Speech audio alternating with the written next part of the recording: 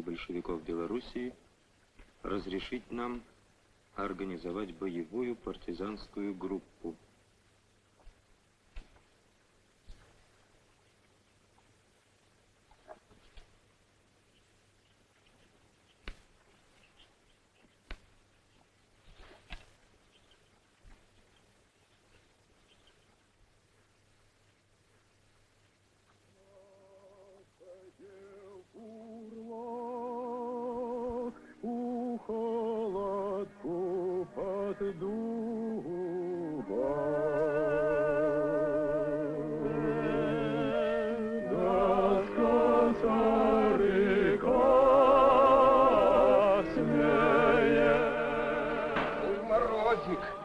Петрус.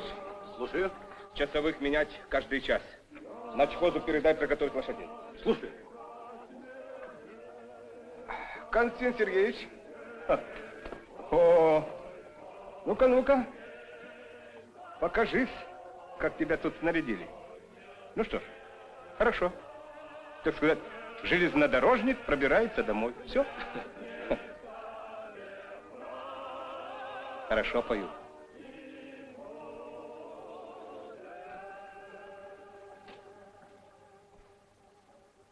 Твои? Полтора месяца шли, всю дорогу молчали.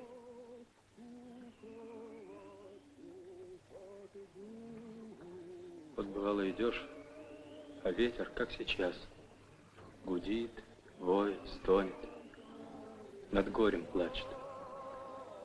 А вокруг руины, пожарища, смерть. Народ в леса подался. Народный гнев великую силу родит. И веру. Вот ко мне как-то пришел старик, колхозник, и говорит, давай ко мне секретарь автомат, советскую власть защищать. Дорогой ты мой, значит, идешь один? Пока один. Явка на водокачке. У Шурмина. У него и остановишься.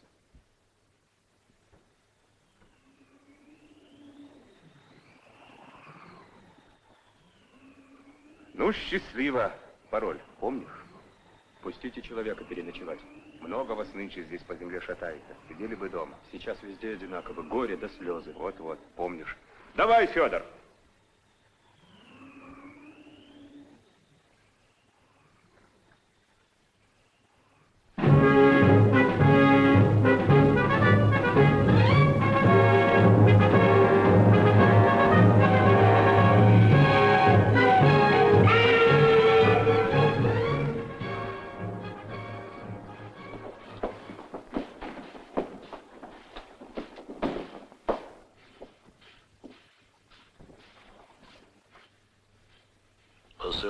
Меня сюда, фюрер сказал, Вильгельм Кубе, ты едешь на Хосленд, Белоруссию?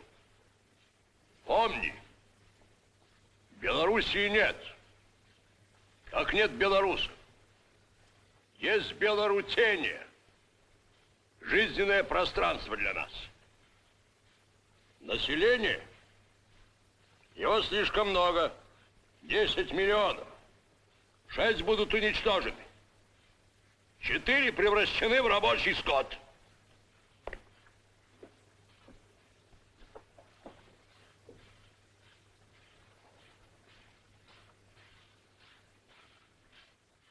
Советник Хирт. Я надеюсь, вы понимаете место, которое занимает Порша в общем плане нашего продвижения на восток. Так точно, экселленс. Орша – это ключ от ворот Москвы. Я надеюсь, вы это понимаете? Понимаю, экселленс. Нет, вы не понимаете. Я не заметил это в вашем докладе.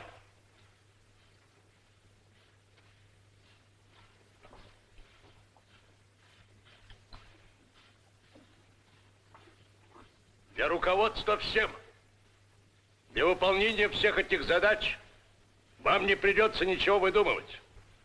директивах и инструкциях рейхсфюрера СС доктора Гиммлера все разработано четко и ясно. Вам не придется и отвечать. Великая германская раса подсудна Богу и фюреру. Помните, страх, страх должен парализовать все.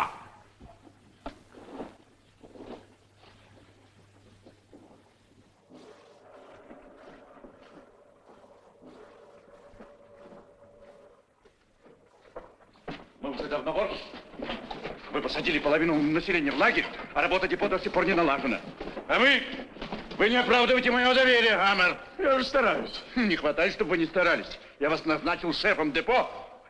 Я же делаю все, что могу. Но рабочих мало, а те, кто есть, плохо работают. Я говорил вам, надо перестрелять весь этот сброд. Да.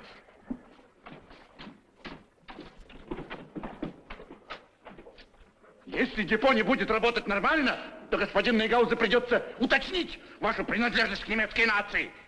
А потому что это за вид? Надеть форму! Слушай.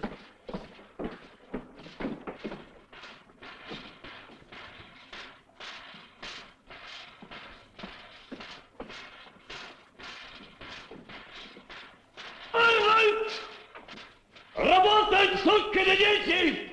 Ух, дам сейчас рыло!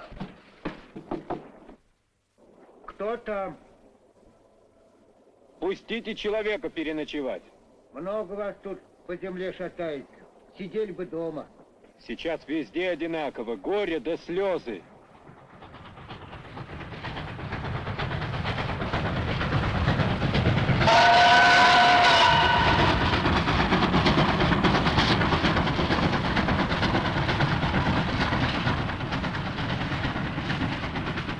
Я когда к тебе шел, встретил Буравчика. Спросил у него, а меня возьмут на работу? Сомневается. А ты его опасайся. На немца, видать, работает. Да, еще Гамера форму напярил. Начальник депо.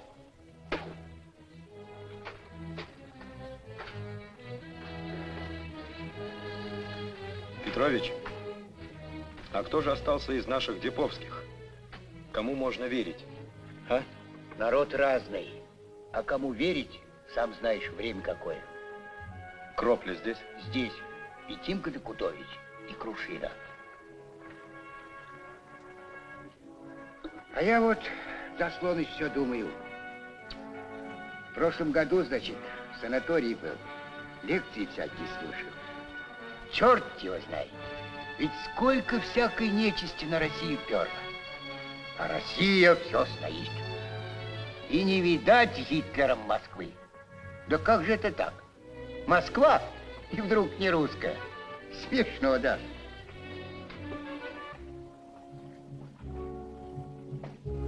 Ну, Заслоныч, давай спать.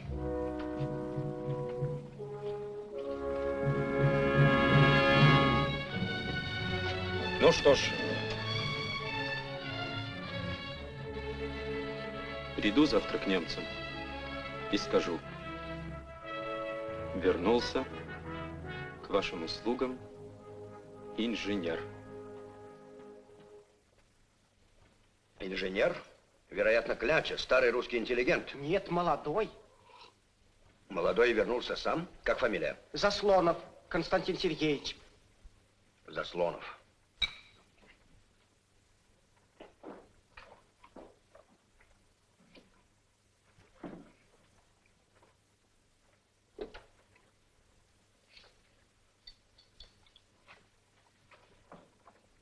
Он? Анис. О чем он с вами говорил? На работу хотят. На работу.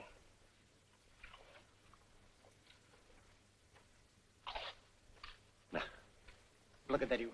Данке. Курт, выдайте ему 50 марок. Благодарю. Ну, Благодарю. иди, иди. Швайн.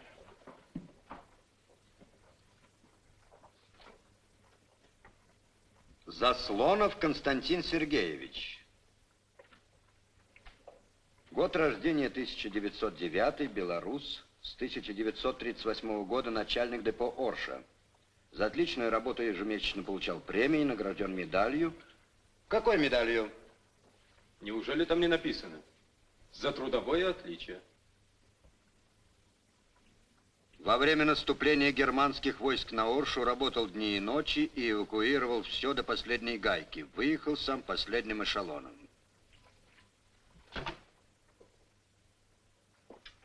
Где вы были все это время?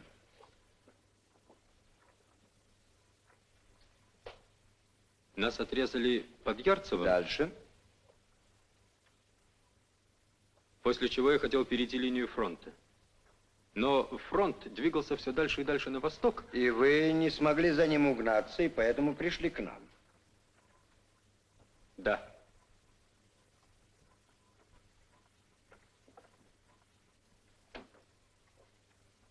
А вы не подумали о том, что за все то, что вы здесь натворили, я вас повешу?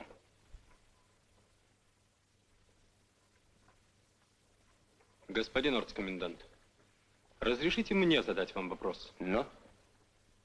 Если бы вы отказались ехать в Оршу, то как бы с вами поступило ваше начальство? Так вот и мне отдавали приказания, и я их выполнял. По-моему, это логично.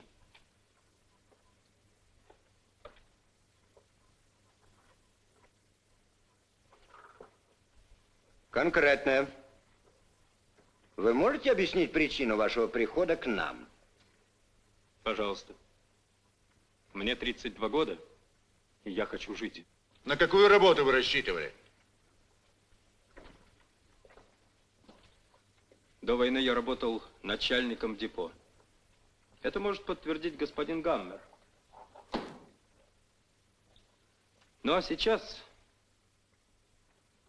инженером по ремонту я бы мог быть. А простым рабочим на угольном складе не хотите?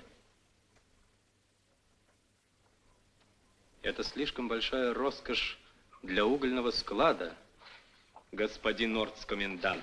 Вы забыли, где находитесь? Уведите!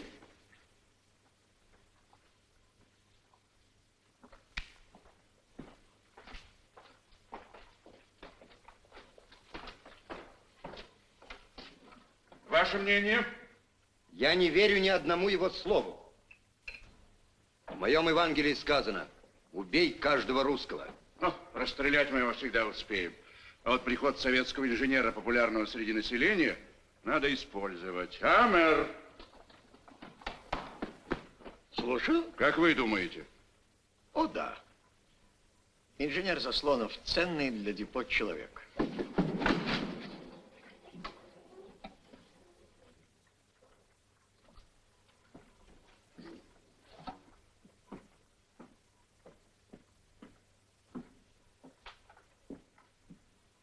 Значит, вы думаете, что Заслонова можно принять на работу?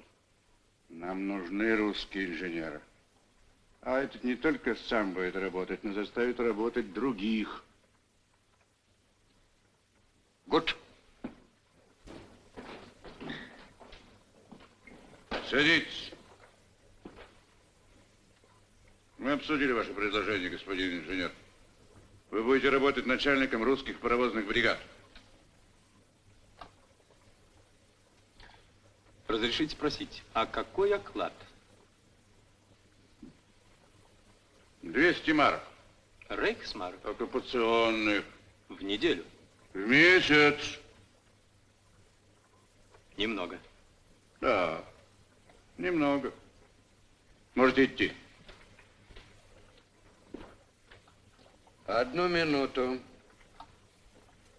Слушаю. Вы не смогли бы в письменном виде изложить причины, которые заставили вас перейти к нам? Пожалуйста. Мы опубликуем их в газете. Примерно так.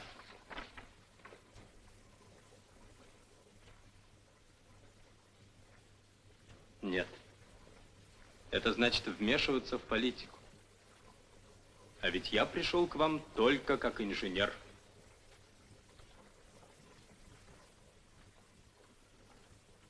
Я свободен? Пока свободный.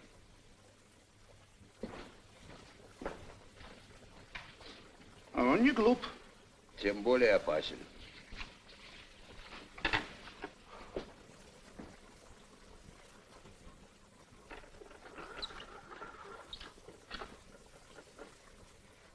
Редакция.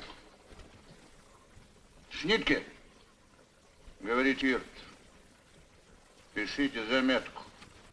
Переход Заслонова – лучшее доказательство того, что советская власть кончилась, кончилась навсегда. Вот почему меняют свои позиции люди, убедившиеся в неизбежном крахе советской власти, ай-яй-яй-яй, которой они недавно служили верой и правдой. Ну, хватит. Слышали? А ведь какой человек был, ну кто мог подумать? Вот-вот-вот и я говорю, кто мог подумать? А ведь бывало, товарищ Заслонов первым патриотом Да был. ладно. Да, бывает.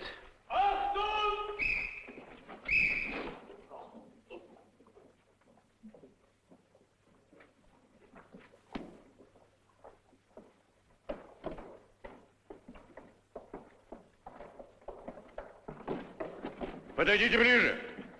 Хаммер, читайте приказ.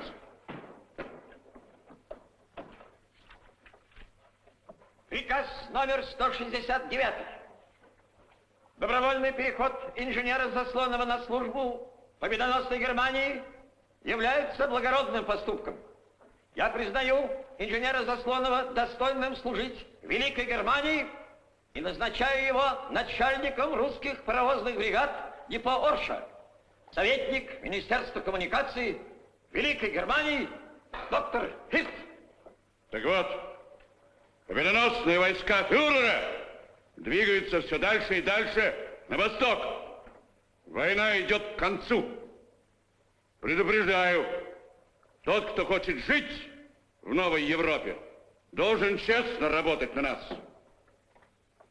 Инженер Заслонов, я уверен, Аршанское депо теперь будет работать бесперебойно.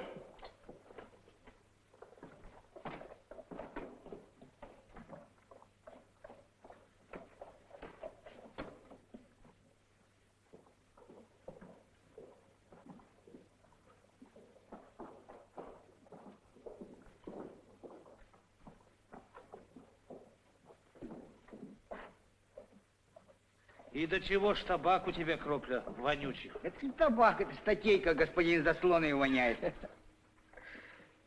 С сегодняшнего дня вы будете работать иначе.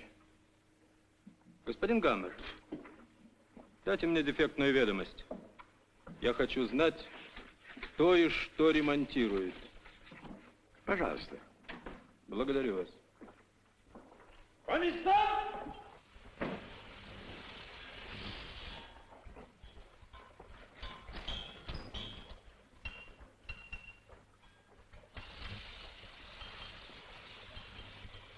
А может быть, его заставили?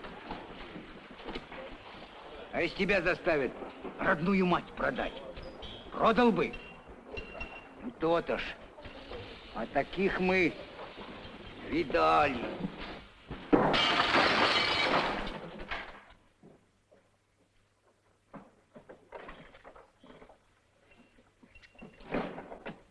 Господин оргкомендант?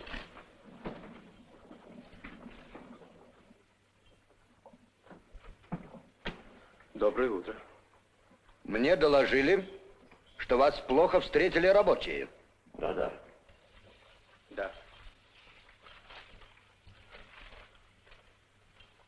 Кто? Кто это сделал?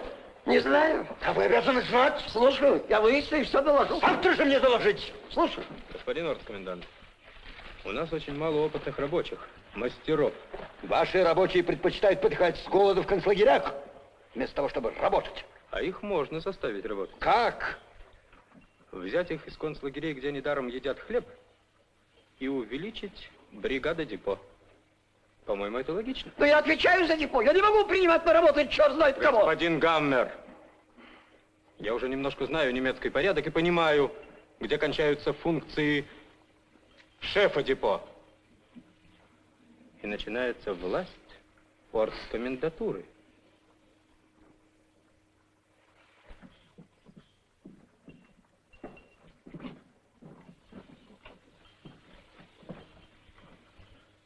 Поручите это мне. Мы отберем в лагере нужных нам мастеров, и они у меня будут работать. Я подумаю.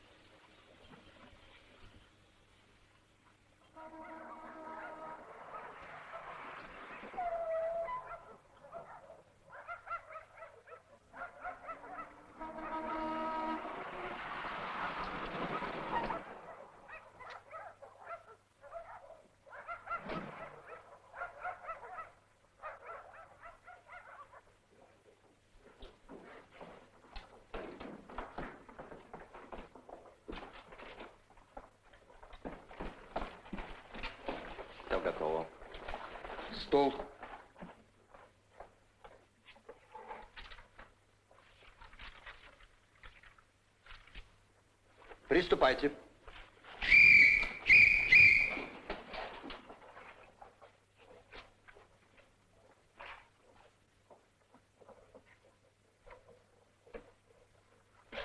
Майсак, токарь, Токарь. горючка, машинист, Есть. Степанов, токарь, Токарь. Алексеев, машинист, Есть. Макейчик, слесарь, Сэр.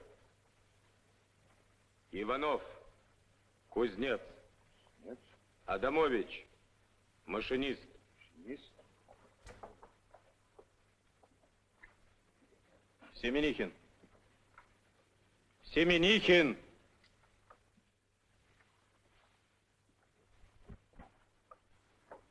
Иуда.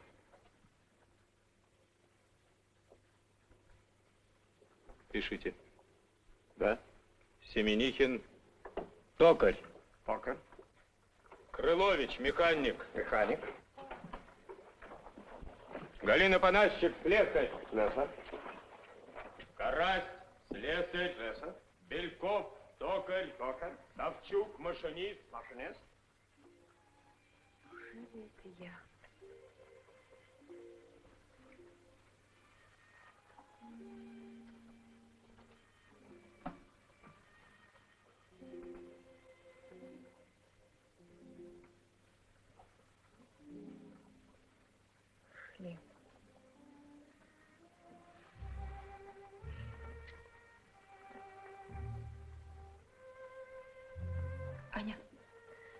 Расскажи лучше, что кругом творится.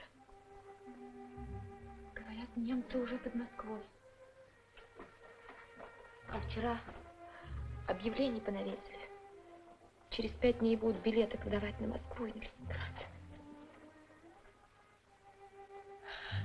Все так ясно было, как в солнечный день. Вдруг тьма. Нет, этого не может быть. Никогда немцы не будут в Москве. Замолчи. Слышишь, замолчи. Мы там в лагере каждый день смерть видели. Каждый час. А мы говорили себе жить. Жить, жить. И верили. Ты понимаешь меня? Понимаю.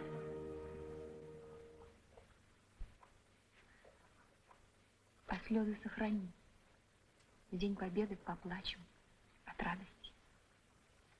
На узле, в депо, между машинистами надо организовать отдельные боевые группы. Небольшие, человек 5-6. Свяжись с Кроплей, Докутовичем, Крушиной, ну а остальных подберешь сам. Будем делать угольные мины. Германскому командованию угодно, чтобы депо работало хорошо. Ну что ж, из депо будут выходить паровозы. Но в пути в топку попадает угольная мина. И снова ремонт. А на путях стоят эшелоны, ломается график. Вот так. А на Аршанском узле все тихо, спокойно и никаких следов. И помните, связь, связь держать будете только со мной. И задание получать только от меня. Ну, а для всех остальных я предатель. Иуда. Ну, а теперь я вам объясню, как делается угольная мина. Берется тол. Но кто догадается, что это мина? Уголь. Уголь. Как есть уголь. Хитро. Вот бы узнать, кто это придумал, а? Андрей. Так, человек один. Но что самое главное? Ты эту штучку как хочешь. Бросай, бей, разбивай, ничего. А вот в топку попадет и взрывается. Потому высокая температура нужна.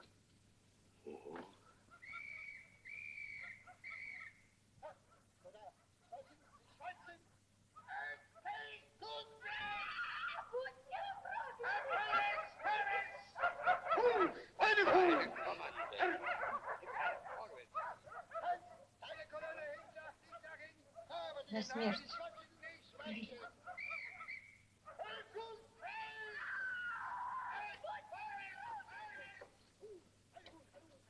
Нет. Вы мне скажите, что такое Заслонов? Подумать страшно. Жил среди нас. Мы его уважали, любили. А он предал. А что о нем думать? Дюкнуть его разок. Незачем Заслонову жить на свете. Убрать его здоровье. Спокойно, спокойно. У нас есть командир. И задание убрать Заслонова он не давал. Ясно? Дисциплина. Дисциплина, притом железная.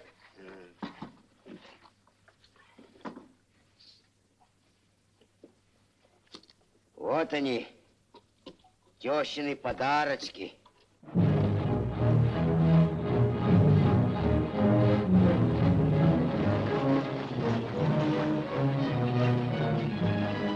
Подарочек от тещи. От тещи. За дорогу. Только смотрите осторожно. Добро. Знаем.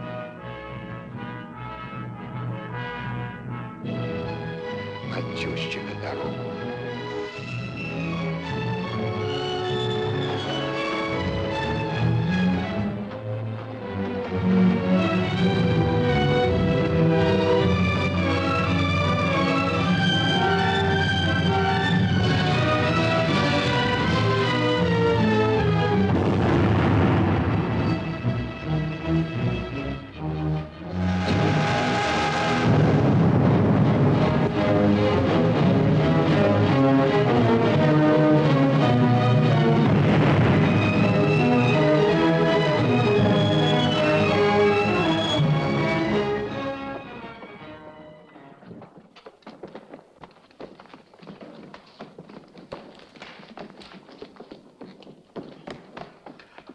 Опять взорвана топка, господин советник. 21 случай, и все одно и то же.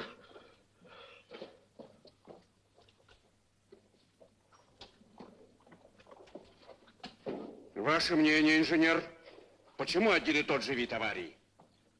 Паровоз выходит из депо в порядке. Авария происходит в пути. И мне трудно установить причину. Нелогично. Это не техническая авария. Здесь явное действие взрывчатки, и причину надо искать здесь. Но каким же образом взрывчатка попадает в топку? Шеф, отвечайте! Не знаю. Может быть, вместе с углем при загрузке эти русские способны на все. Мы это сейчас проверим. Анар, Слушаю. выделить рабочих, разгрузить весь уголь и разбить каждый кусок. Будет исполнено. Разгрузить уголь! Игнатович, Новиков, Семеникин, Крылович, Алексеев, Панощик. Вдруг догадались, а? Не советовал бы догадываться.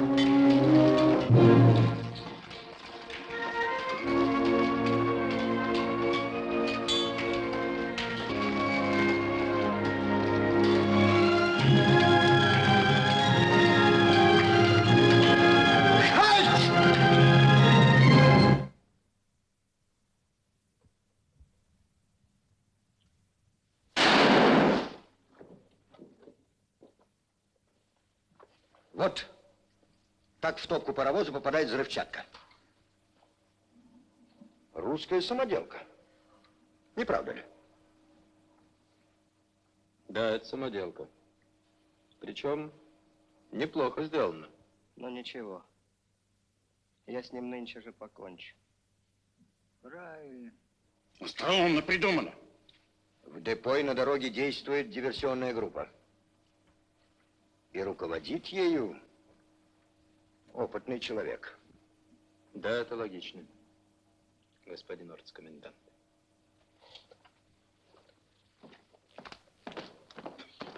Антон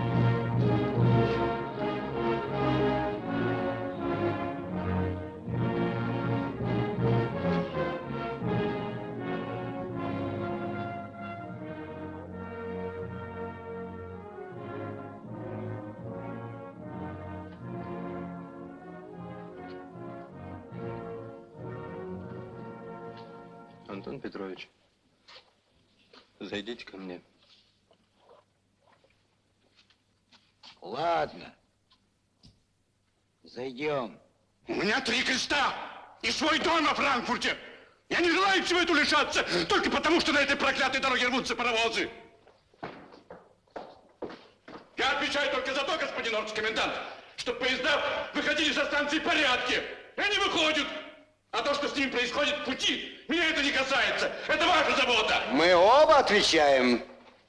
А за такие разговоры вы скорее лишитесь крестов и домика во Франкфурте, чем за взорные паровозы. Вы, вы должны знать, кто ими руководит. Должен! Но не знаю.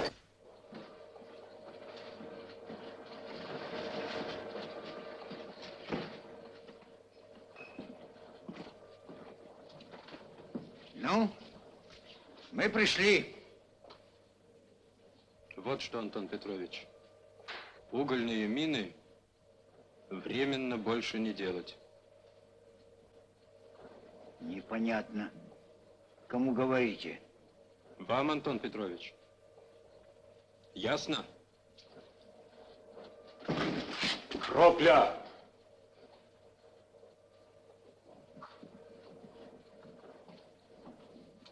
Антон Петрович, вам уже один раз сказали, командир задания убивать Заслонова не давал. Два месяца вы с Крушиной делали угольные мины по моему заданию. Да-да, Антон Петрович. А теперь я даю новое задание. Перекрывать пресс масленки, воздухораспределители, короче, замораживать паровозы.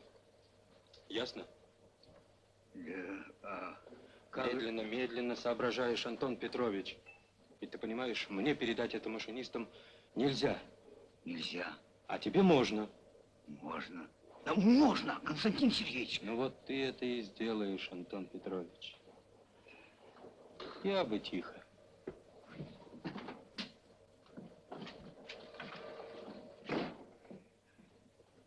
Константин Сергеевич.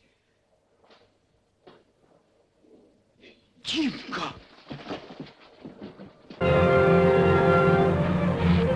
Тимка! Вася, Никита Кудович, Не знаю, не видал. Тимка где? Пошел уже. Пошел?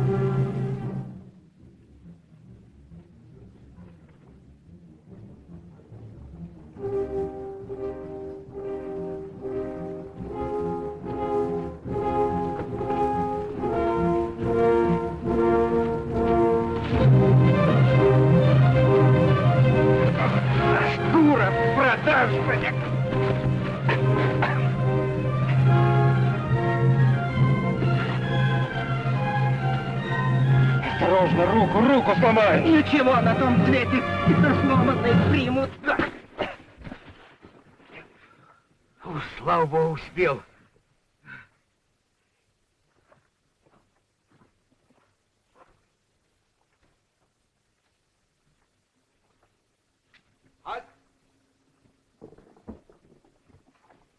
Ausweis.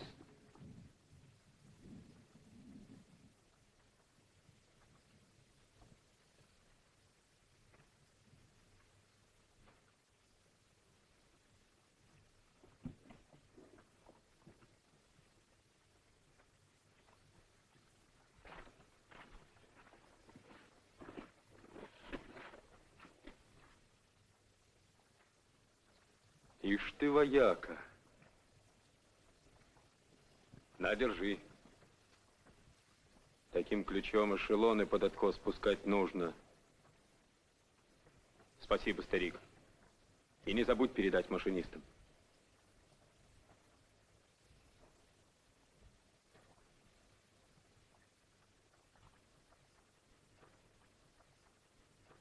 Я бы тихо.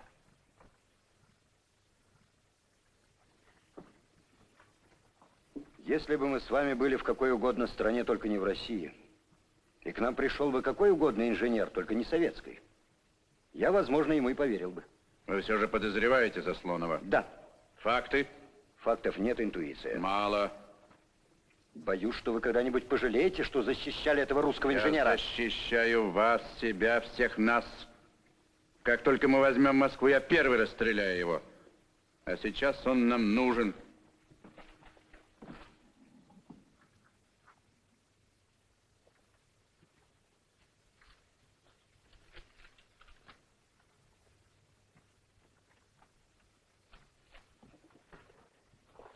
Это последний график? Да. Факты будут, господин советник. Слушаю. Слушаю, экселленс. Так точно. Понимаю. Будет сделано, экселленс.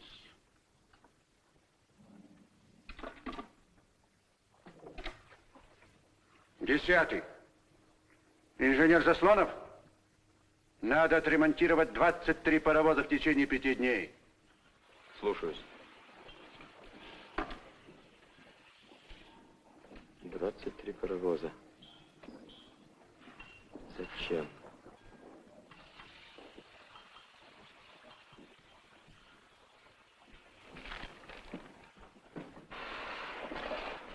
Семеникин, подойдите сюда.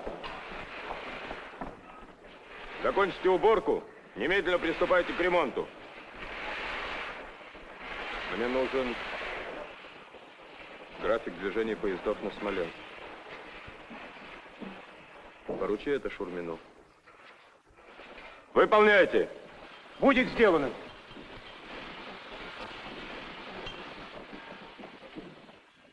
Разрешите поздравить вас, Константин Сергеевич, с прибавочкой жалования. Так. Раз.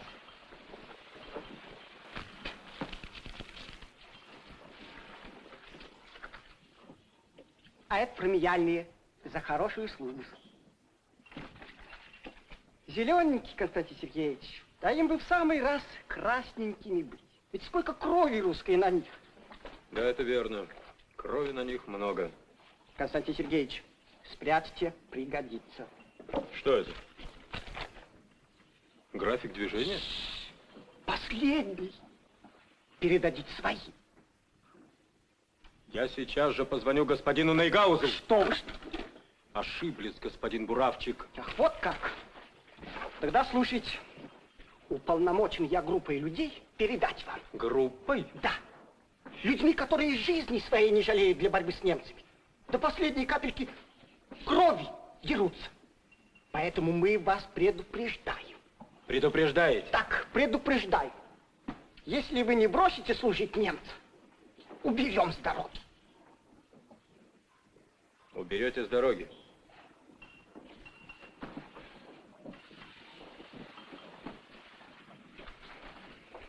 Господин Буравчик. Так, так, так, так, так. А кто вас сюда подослал? Э, что? Ох ты, шлаковая ты твоя душа! Константин Сергеевич! Передайте вашей группе, или как там оно у вас называется? Что, Заслонов? Угроз не боится!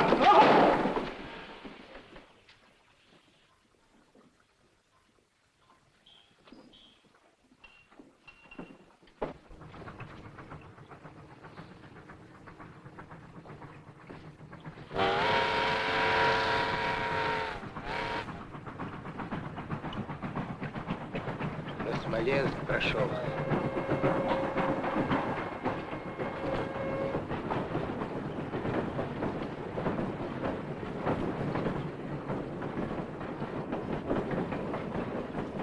Видать, тяжелый.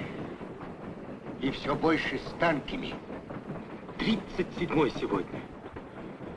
И не на Смоленск, старик, а на Москву.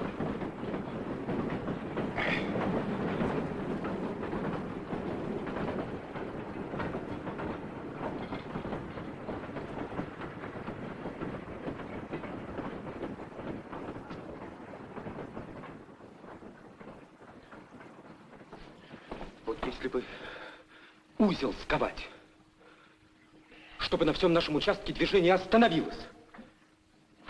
Пробку ворши сделать, забить эшелонами пути, чтобы ни туда и ни сюда. А? Да. Вот в ту войну, я помню, у нас такая же оказия получилась. Вода замерзла. Колодцы загодя не отеплили, они и замерзли. Как есть пробка.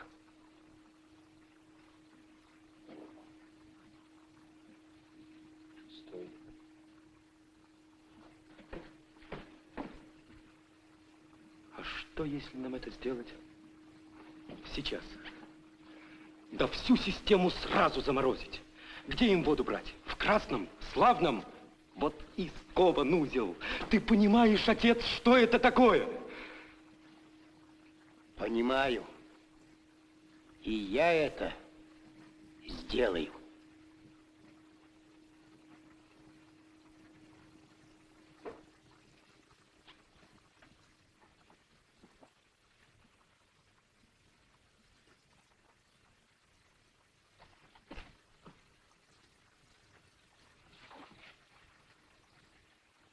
Я знаю, Сергеич, о чем ты думаешь. Вот что я тебе скажу. Сейчас перед каждым советским человеком вопрос поставлен. Что ты сделал для защиты Родины? Вот пришел и мой черед. Когда заморозить надо? Сегодня. Добро. Иди наверх.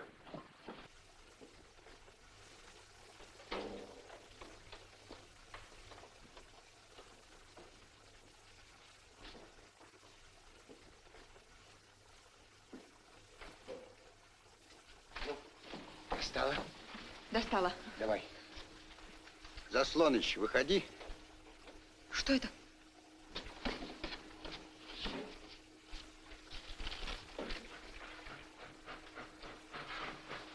Так. Спасибо. Спасибо за график. Он нам очень поможет. Спасибо. Значит, это вы? Значит, я. Ничего, Галочка. Ничего. Вот победим мы, соберемся все вместе и вспомним. Вспомним и хорошее, и плохое. Смело в глаза посмотрим. Жизнь прожили правильно, людьми. Чудесные вы мои друзья. Ну, Сергеич, твой мостик. Хорошо. Значит так, Василий. Ждешь меня в 6 утра, там, где договорились. Ладно.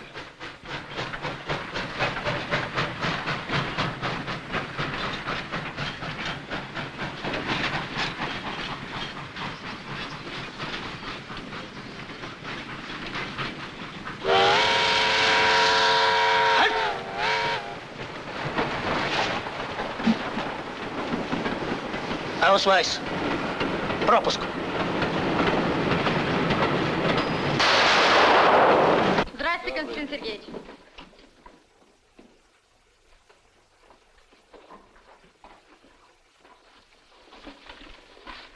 Прошу, товарищи, поближе. Сегодня у нас вопрос один. Константин Сергеевич, давай. У меня мало времени, товарищ, поэтому я постараюсь как можно короче. В Оршино узле будет заморожена вода. Это большой удар по узлу. Но этот удар надо усилить. Поэтому с завтрашнего дня каждый эшелон, проскочивший через Оршу, должен идти под откос. Надо сковать Оршу не только на узле, но и на подступах. Все дороги от Орши до Смоленска надо поставить под контроль. Вот график движения. У меня все. Так. План этот, товарищи, обсуждался на бюро. Принят. Сейчас поговорим о деталях. Прошу, доставайте карты. Когда, говоришь, будет заморожена вода?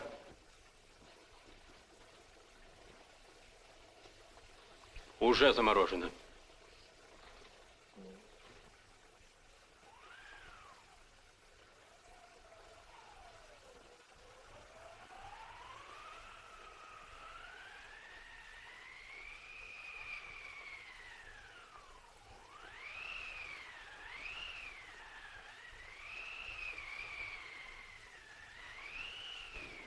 Полюбуйтесь!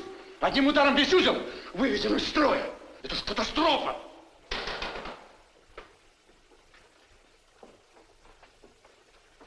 Гарань!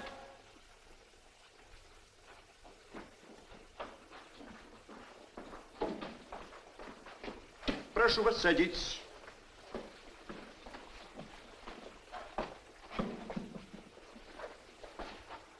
Садитесь.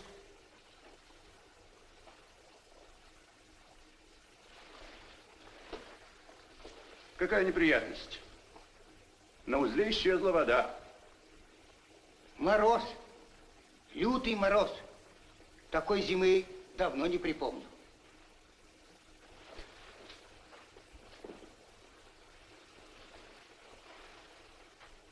И давно вы работаете на водокачках? Порядком. Если б не война, 40-летний юбилей справил бы. И за эти 40 лет много раз замерзала вода? Да всяко бывало. Садитесь. В ту войну, помню, замерзла. В гражданскую тоже было.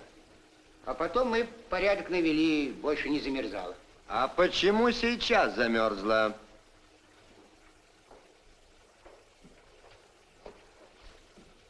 Так ведь э, об этом загоди думали. Летом чинили, проверяли, отепляли. Ну, но ведь Оршу мы взяли в июле. Почему же водокачка не была подготовлена к зиме? Так ведь э, время-то какое. Наши отходили, распоряжения не дали. Э, Вы пришли, тоже приказа не было. А водоснабжение – дело ответственное. Подчиняется только начальнику узла. Значит, выходит, что виноват во всем этом я. Выходит, что так. Э, ведь я как понимаю, вы, значит, с войной решили закончить до зимы? И по газетам вашим, видать, было шесть недель и конец. Ну, а тут и задержались маленько. Вот так. Э, А мы что, нам приказ закон. Кто тебе приказал заморозить воду? М? Чего это? Дурачка играешь? С этого и начинал бы, сволочь!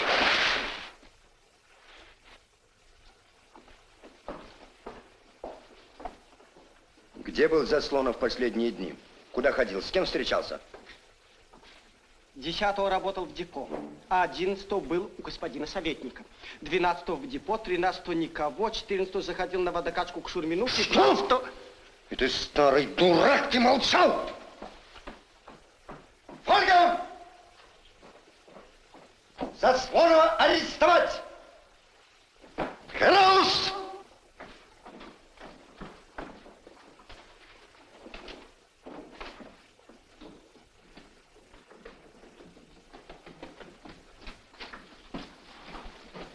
Курт! Поднимите его.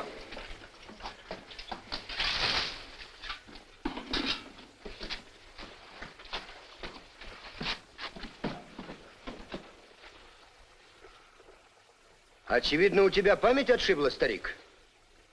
Ты вспомни, зачем к тебе приходил Заслонов. Он требовал, чтобы я наладил воду. Кто тебе приказал заморозить воду? Кто? Я сам. Курт, продолжайте.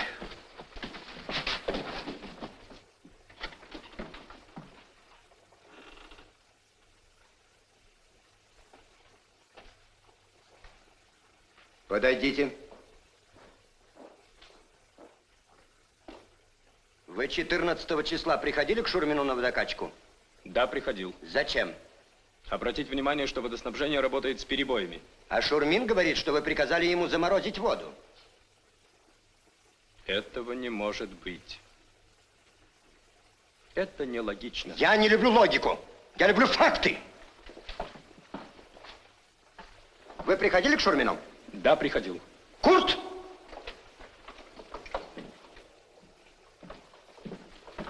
Введите Шурмина. Старик Капут, слабое сердце. Дурак.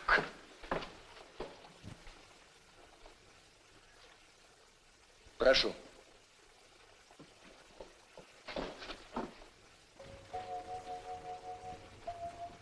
Макроусов, трехверстку.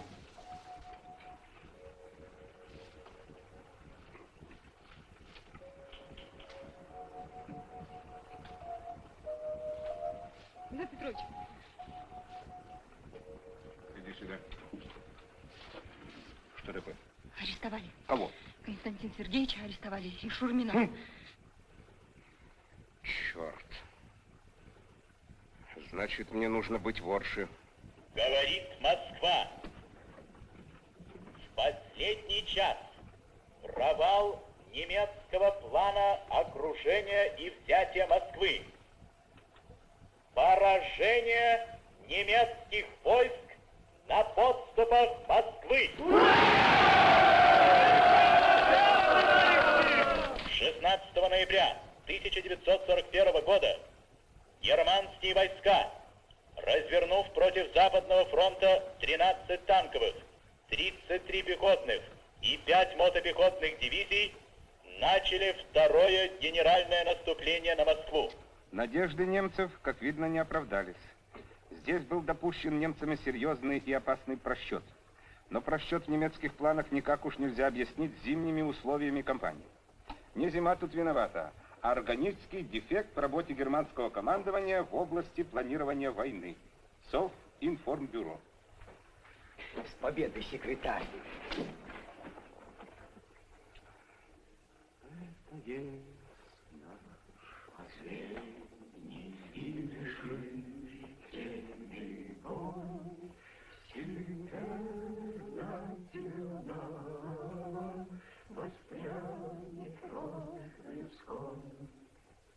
Друзья мои, поздравляю вас с великим началом. В этой победе под Москвой есть и наши с вами. пусть маленькое, но участие. Ведя борьбу здесь, мы защищаем Москву.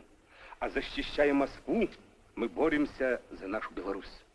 И сейчас, когда Красная Армия нанесла сокрушительный удар под Москвой, мы, партизаны, должны ударить здесь.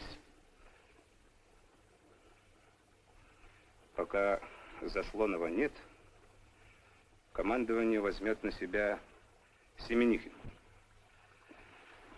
Слушай, днями, точно когда дам знать дополнительно, будут бомбить узел. Наши самолеты. Так вот, надо подготовиться к встрече. Помочь сигнализации.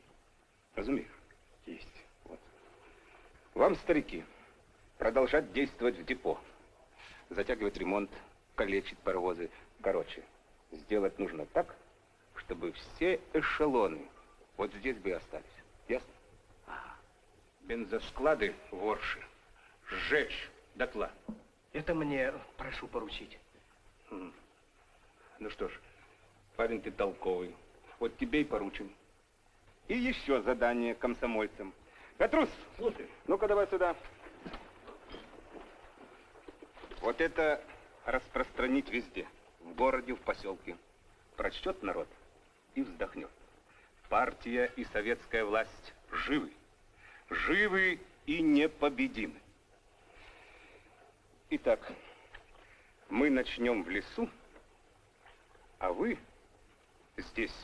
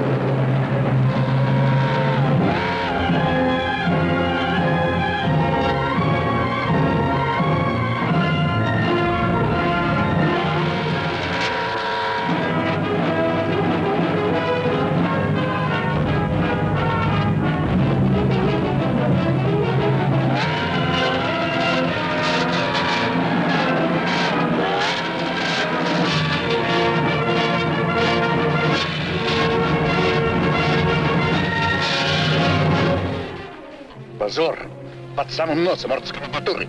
Под вашим носом, Нейгаус. Творится черт знает что. Сегодня ночью Заслонов будет расстрелян, и Ворши станет тихо. А. Через час Заслонов будет освобожден. Ровно в 12 Заслонов будет расстрелян. Вот эту вот листовку я нашел у себя на столе. Что же, я тоже сделал Заслонов? Он семь дней сидит у вас. А диверсии не только не прекращаются, наоборот, растут. Русские под Москвой перешли в наступление. У нас тысячит фронт. Вы понимаете, как должен сейчас работать узел?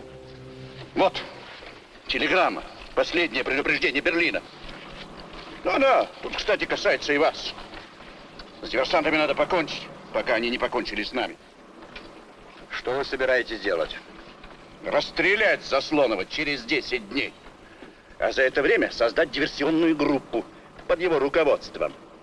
Да-да, нордическая хитрость. А если Заслонов не согласится? Ну что же, по ближней цели я тоже стрелять умею, Мейхаус. Gut. В гестапо.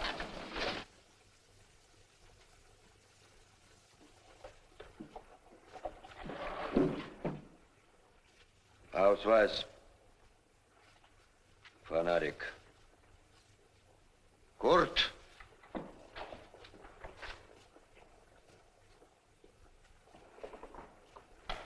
Я свободен? Пока свободны.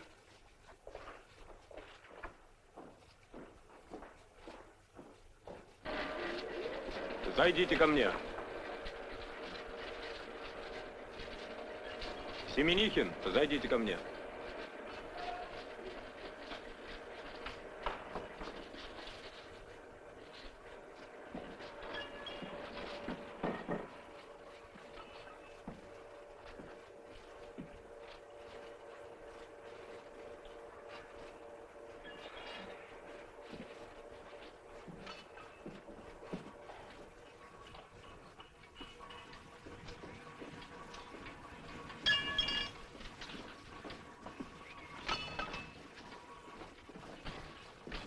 Здравствуйте, Сергей.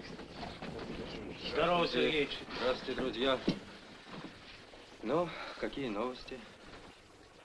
Немцы под Москвой Разгромили. разбили. Да. Наконец-то.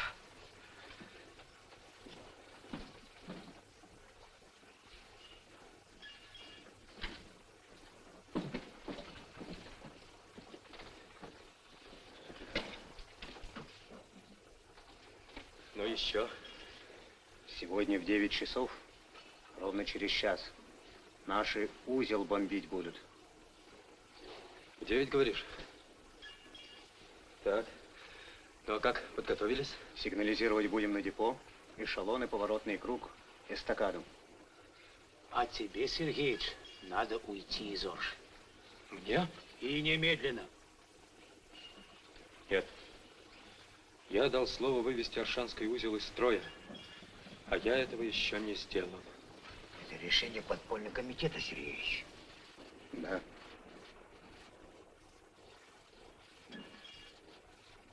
Хорошо. Вот сегодня после бомбежки мы все вместе и уйдем. А теперь по местам.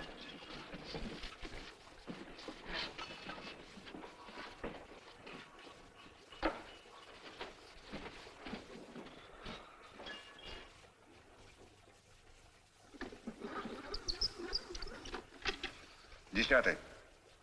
Говорит Хирт. Ровно через 10 минут явиться ко мне. Ровно через 10 минут я буду у вас.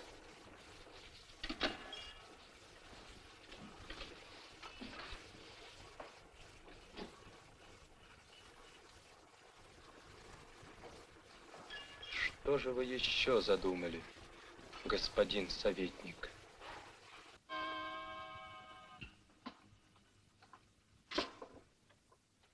Пейте. Это подкрепляет силы. Французское бордо. Пили когда-нибудь? Нет, простите, я не пью. М, Напрасно. Я вас освободил, потому что мне надоели диверсанты. Я хочу с ними покончить. И вы поможете мне. Я слушаю вас.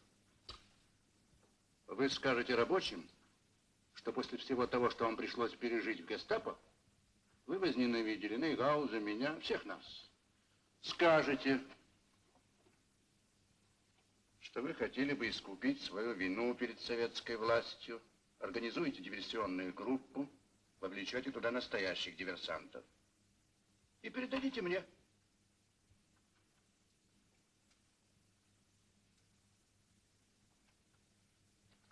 А вы знаете что, я боюсь, что мне не поверят настоящие диверсанты. Это зависит от вас. Условие следующее. 50 тысяч марок. Оккупационных? Нет, на этот раз рейхсмарок. Или одна пуля в лоб. Бесплатно.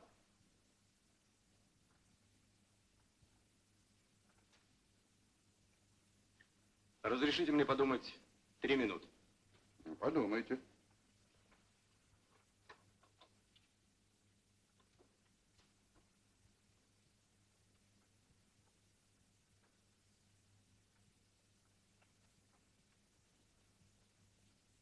Ну, три минуты прошли.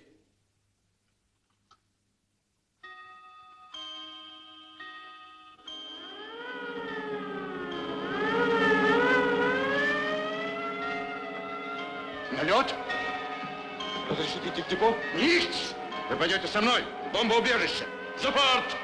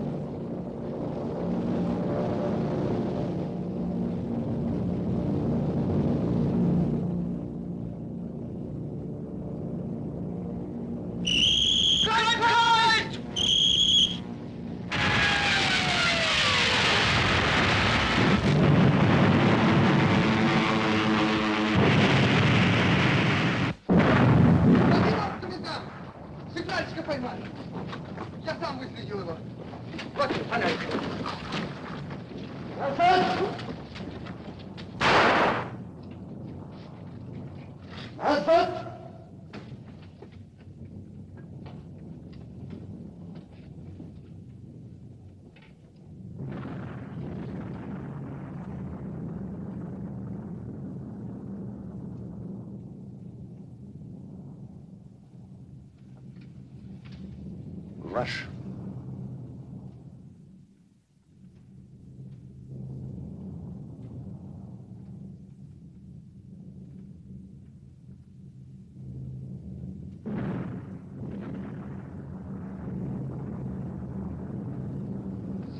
Кто дал задание?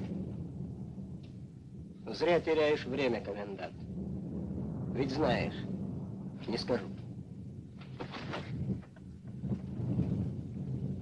Тот, кто приказал тебе сигнализировать, не придет сюда и не скажет.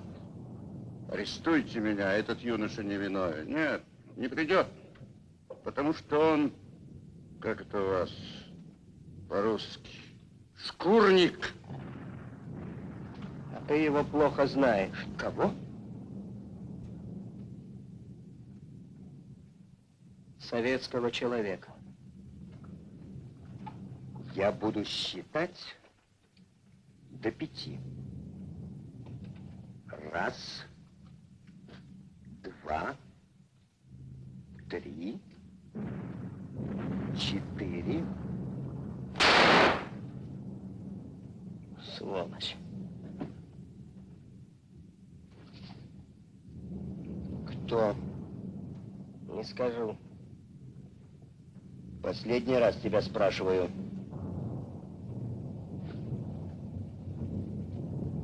Он?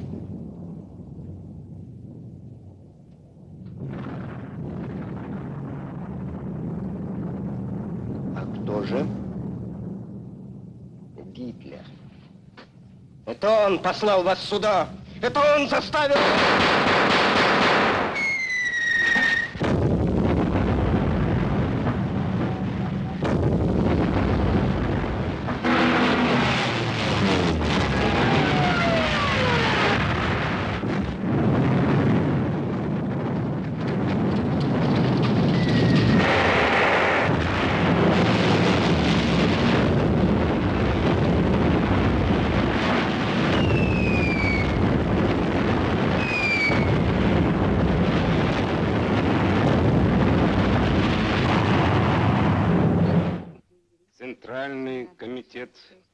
Коммунистической партии большевиков Беларуси. Штаб партизанского движения. Настоящим докладываем. Боевая партизанская группа Заслонова задание выполнила. Бомбардировкой советской авиации и действиями партизан Аршанский узел надолго выведен из строя. В борьбе с немецкими захватчиками смертью храбрых погибли Смертью храбрых погибли. Мастер водоснабжения Шурмин, машинист Алексеев, комсомолец Докутович.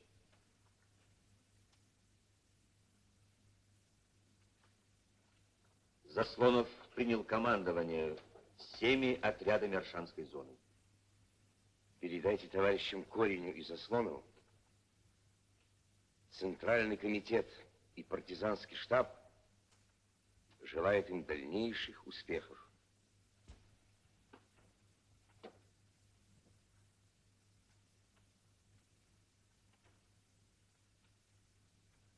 Это наш район действия, Игнат Петрович. Советский островок. И он будет расти. Всем командирам отрядов приказываю. Товарищ Кропля и товарищ Гриневич. Вам ликвидацию неприятельских гарнизонов.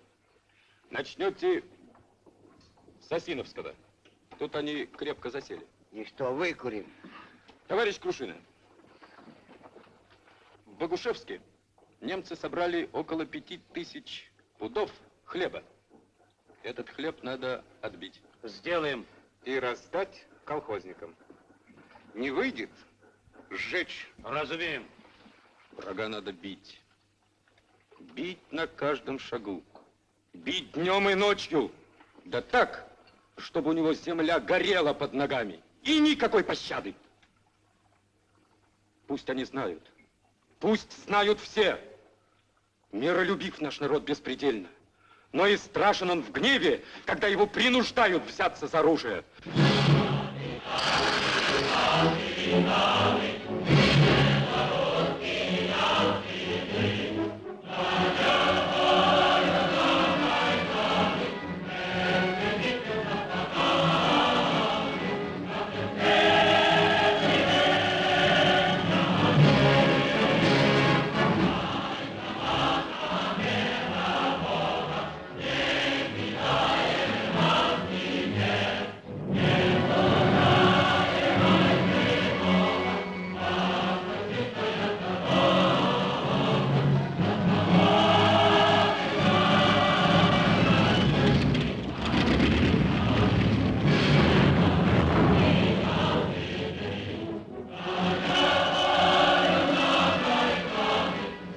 Много у нас впереди боев. Мы будем бороться до конца, до полной победы, до тех пор, пока самое слово «фашизм» не исчезнет из памяти человечества навсегда. Бой народные мстители за Родину!